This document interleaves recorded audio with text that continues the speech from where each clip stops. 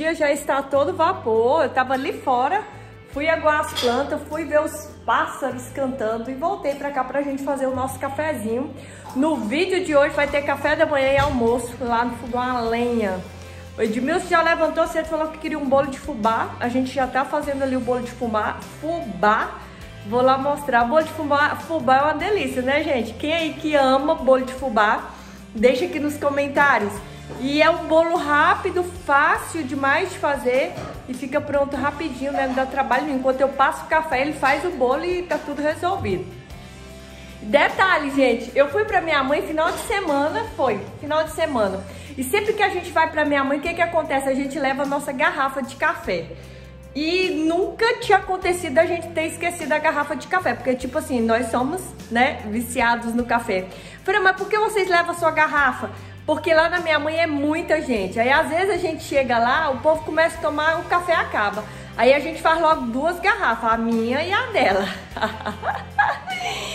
e aí eu não sei que na hora de vir embora, lá de trazer meio monte de coisa, com confusão de cachorro. E aí eu sei que a gente esqueceu a garrafa de café. Cara, a gente tem penada aqui, ainda bem que eu tenho a minha a minha cafeteira, essa daqui. Quem é que tem aí dessa cafeteira? Deixa aí nos comentários. Ela é muito boazinha, gente. Nossa, tem quebrado um galho. Meu Deus, vocês imaginam aqui em casa tem garrafa de café. Nós quase, quando eu falei de meus, cadê a garrafa de café? Que aí todo mundo colocou a mão na cabeça de desespero. mas enfim, só quando eu for lá na minha mãe, vai pra trazer a garrafa, mas eu já tô doidinha. Enquanto isso, a gente vai usando aqui a nossa cafeteirinha, que ela é ótima também. E eu vou preparar o café aqui agora com vocês pra gente tomar café. Depois a gente vai fazer almoço. Hoje nós tá tudo junto. Vocês não saiam daí de jeito nenhum, porque o vídeo hoje tá uma delícia. A gente também vai fazer é, chambari. Frio, o que, que é chambari? Fica no vídeo que você vai entender tudo, tá bom? É uma comida típica aqui do norte hiper mega deliciosa. Sem falar no nosso cafezinho, que é da hora, né, gente? Então eu vou fazer o café aqui, vou lá mostrar o bolo pra vocês, o bolo que o Edmilson tá fazendo, ver como é que tá, né, se já tá quase no ponto, que aí eu já venho passar o café. Olha essa planta, mamãezeira, que lindeza! E todo dia eu venho aqui, mas parece que quando tá aqui no vídeo ela fica mais bonita, né, gente? Tá linda, essa aqui é a jiboia, tá, pessoal? Então simbora lá ver o que, que o Edmilson aprontou com o bolo dele, se já tá pronto. Gente, mostrar ali o bolo que a gente tá fazendo. Olha minha prateleirinha, vocês gostaram? Olha aqui, bolo pra gente tomar um café da manhã. E logo em seguida... Oh, mamãe, que delícia! Tá quase, viu, gente? Amores, já coloquei aqui a água na minha cafeteira. Quem tem aí vai identificar, ó. Então é muito fácil. Quem já tem em casa tem esse, esse filtrinho, olha só que bacana. E aqui você coloca o café. Então eu já vou colocar o café aqui agora. Gente, eu tava me lembrando aqui agora que eu peguei o café pra fazer, que no outro vídeo, teve um vídeo meu aqui, acho que tem umas duas semanas, três semanas. Eu vou deixar ele aqui no final pra você ver esse vídeo, que foi do café da manhã ali na nossa cozinha, no fogão a lenha, aquele café mesmo maravilhoso. Eu sei que vocês, você que não viu, você que viu, deixa aqui, Fran já viu o vídeo porque, gente, ficou delicioso. Pense num café porreta caipira. E aí eu lembrando que naquele vídeo eu perguntei para vocês se vocês conheciam a BIC. E muita gente falou que nem sabia disso. Então eu tô aqui para reforçar. Se você também não conhece a BIC, Freão, o que é a BIC? A Associação Brasileira da Indústria de Café. E o nosso café, sempre quando eu vou comprar, eu olho para ver se tem um selo da BIC porque é o selo que garante a pureza do café. Esse selinho bem aqui, gente, olha que gracinha. Então eu já até mostrei eu no mercado, eu indicando, falando do selo. Não sei se vocês já viram um vídeo meu. Pessoal, eu até peguei aqui o meu celular porque teve muitas perguntas naquele vídeo. O que que eu fiz? Olha só. Peguei as perguntas cabulosas de vocês, as dúvidas de vocês que eu pedi, gente, comenta aqui sobre café e peguei as dúvidas de vocês e mandei no site da BIC. Eu vou deixar as redes sociais da BIC aqui no box de informação, porque você também pode entrar em contato com eles. E olha só que interessante, eles me responderam, fiquei muito feliz. A Rose Oliveira perguntou assim, olha só a pergunta que ela fez. Já ouvi dizer que algumas empresas colocam sangue de boi no café para dar peso e para dar aquela cor, né? E aí ela mandou essa pergunta. Falei, cara, eu vou perguntar isso para eles. Olha o que, que eles responderam. Não, os cafés certificados pela BIC são analisados e monitorados periodicamente. A garantia da pureza do produto. O selo de pureza atesta a segurança alimentar do café, garantindo que o produto adquirido está livre de qualquer tipo de impureza. Gente, eu achei 10, ó, de qualquer tipo de impureza ou adulteração, sendo feito 100% só com grão selecionado. E a Jussara também perguntou assim, ó, dizem que a água não pode ferver é, na hora de colocar o pó. Não é recomendado, a resposta deles, não é recomendado ferver o café, o pó, para evitar, para evitar que as substâncias que atuam na formação do sabor se percam. Vocês viram que no outro vídeo eu esperei ferver, na hora que a água tá fervendo eu coloco o pó e já desligo, já passo o café. Então eu tô fazendo do jeito certo. Agora a gente vai fazer aqui como eu vou mostrar pra vocês. Então quando eu vou pegar o café, a primeira coisa que eu olho, já até expliquei pro Edmilson que às vezes ele vai na rua só e eu falo, traz um bagulho de café, porque nós bebemos café, né? E aí eu falo, traz com selo, no, independente da marca do café, né? Desde que tenha o selo ABIC, é um café que, esse, esse aqui mesmo é pureza e qualidade, selo superior de pureza e qualidade.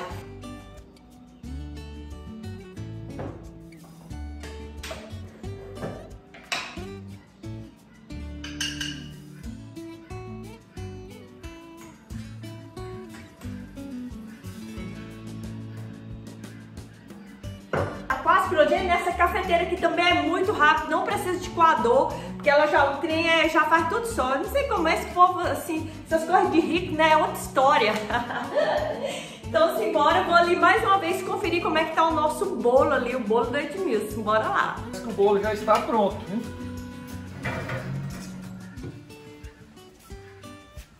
Ótimo. Nossa, amor, vai lá de novo. Ah, mas tá cheirando. Olha, gente, mas foi muito rápido. Agora a gente só vai esperar dar uma esfriada para poder comer. Fica o bolo no jeito, mas não vai esperar dar uma esfriadinha. Olha lá aquele fogo, gente, que delícia. Olha aqui, tu quer com leite, amor? Então vamos lá fazer um leite. Da hora, isso é um bolo de fubá como você nunca viu na vida, viu? Assado na gamela de barro. E a gente já vai tomar café, Edmilson só vai desinformar. Eu vou arrumar outra mesa lá, né, amor? É, vai desinformar ele Naquela tábua. Gente, eu cheguei lá, o bolo tava pronto. Quando eu corri aqui, o café também tava pronto. Meu Deus, que vida corrida e rápida, né? Olha só que delícia. Já tá tudo pronto, agora a gente já vai tomar café. Ali fora, mó delícia da vida.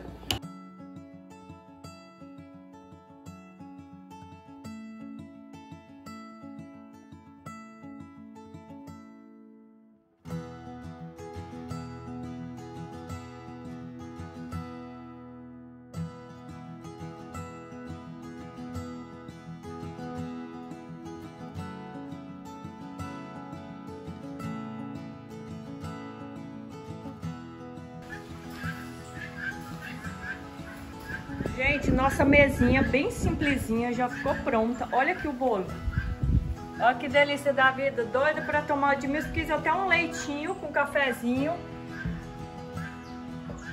Ó, oh, o cantinho do café. Então vamos lá tomar café. De está aqui esperando.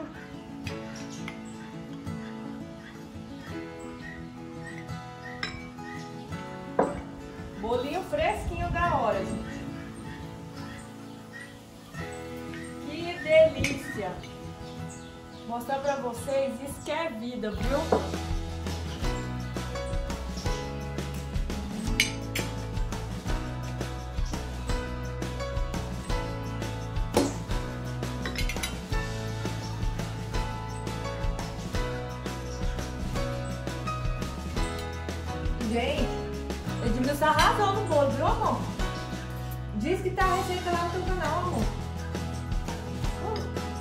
Tá lá no meu canal, gente. A receita tá lá, viu? Cachorro tem um pedaço também.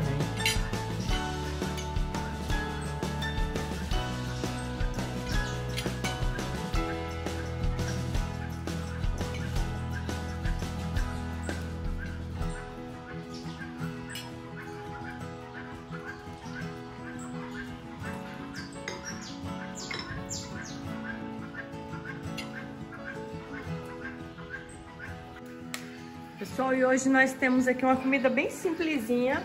É chambari, ó. Nós aqui amamos comida de osso. Vocês já prestaram atenção, né? Edmilson picou. Olha. Tá vendo? Chambari. Gente, é muito bom chambari. Eu piquei aqui alguns tomates, cebola. Nosso fogo já está aqui a todo vapor. E aqui já tem uma manteiguinha de porco juntamente com a açafrão e corante, para ficar nessa coloração, para ficar com aquela cor e com aquele gosto bom, né? Vocês já conhecem aqui que não, nem precisa eu falar. A gente já vai colocar no fogo, porque a gente não vai colocar pressão. Então, já está aqui, ó, e fica muito bom. Vou mostrar para vocês a delícia que fica essa carne. Fica muito, muito boa.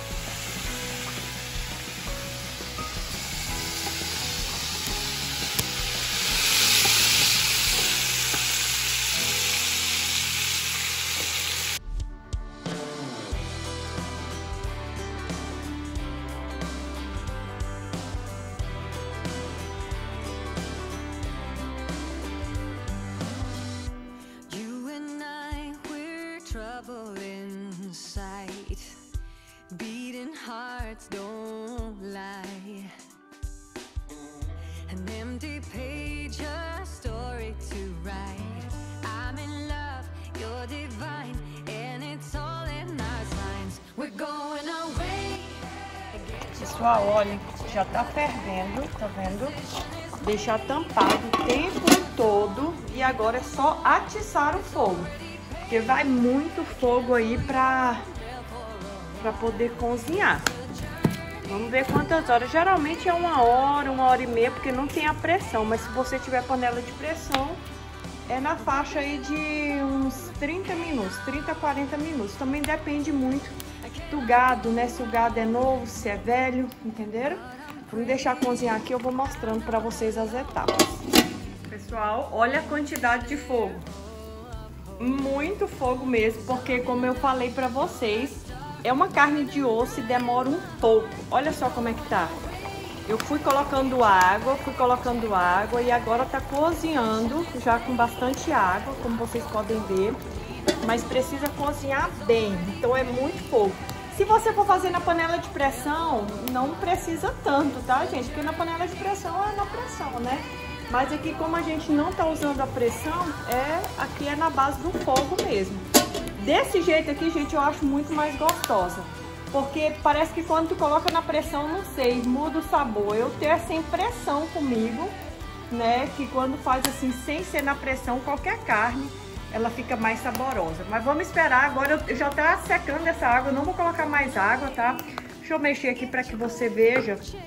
Eu tô até com uma colher aqui de Olha.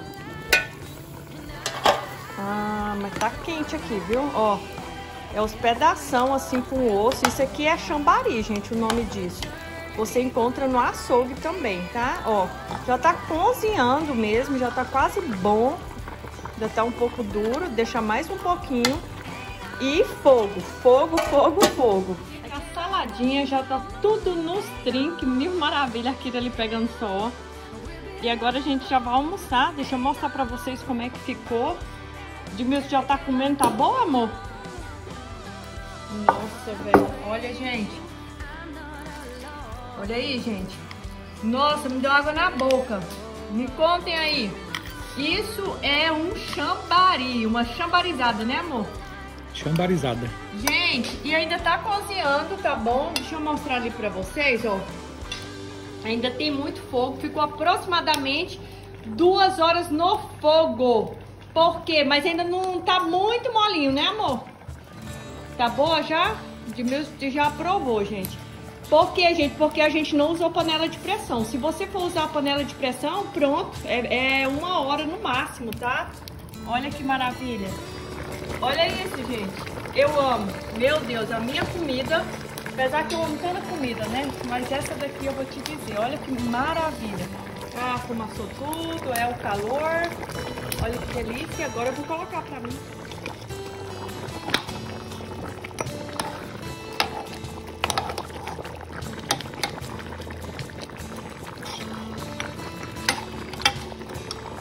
Quero mostrar aqui pra vocês de pertinho, gente, o que, é um chambari.